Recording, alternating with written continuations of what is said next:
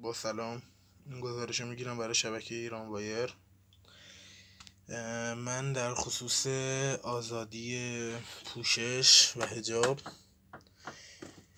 این تصمیم رو گرفتم که خیلی خودجوش عمل کنم و این برنامه اسنپ رو پاک کنم.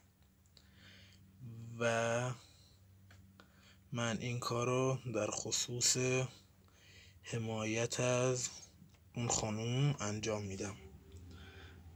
در تاریخ 21 3 98 این گزارش رو هم پر می‌کنم برای شبکه ایران وایر و به همه میگم که به تحریم اسنپ بپیوندید.